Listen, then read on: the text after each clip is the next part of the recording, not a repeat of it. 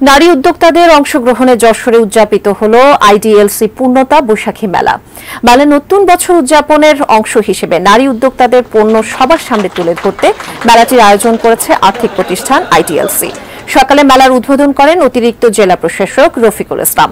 তিরিশ জন নারী উদ্যোক্তা বিভিন্ন ধরনের শাড়ি, থ্রি পিস, পাঞ্জাবি, নকশি কাঁথা, হ্যান্ডব্যাগ বিছানার চাদর বালিশ সহ নানা ধরনের পণ্যের বসরা সাজিয়েছেন।